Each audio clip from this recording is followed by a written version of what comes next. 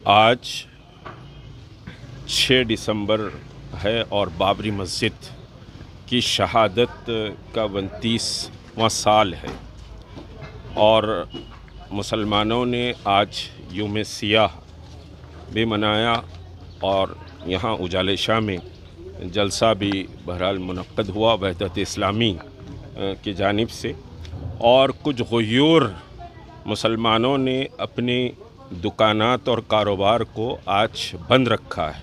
मैं उनको सलाम करता हूँ उनके इस जज्बे को।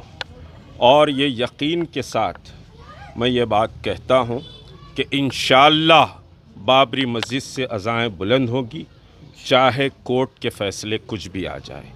कोर्ट का फ़ैसला तो हमारे हक़ में है क्योंकि कोर्ट ने उन्नीस सौ उनचास में मंदिरों को मंदिर को, मूर्ति को ला के रखने को क्राइम कहा है, सुप्रीम कोर्ट ने।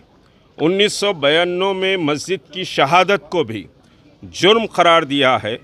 तो ये दो एविडेंसेस ऐसे हैं जो मस्जिद को समझिए कि साहब मस्जिद के होने का ऐलान खुद सुप्रीम कोर्ट का है।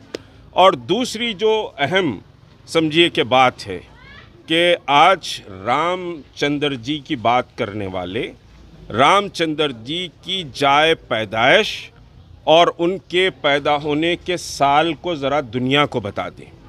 क्योंकि सुप्रीम कोर्ट ने ख़ुद अपने फ़ैसले में कहा है कि रामचंद्र जी कब पैदा हुए और उनकी पैदाइश का मकाम कोई डिफ़ाइन नहीं कर सका है और कोई, समझिए, उसका सबूत नहीं दिया है। हम सबूत देते हैं कि बाबरी मस्जिद 1528 में बनी, खुद सुप्रीम कोर्ट ने इसको तस्लीम किया है।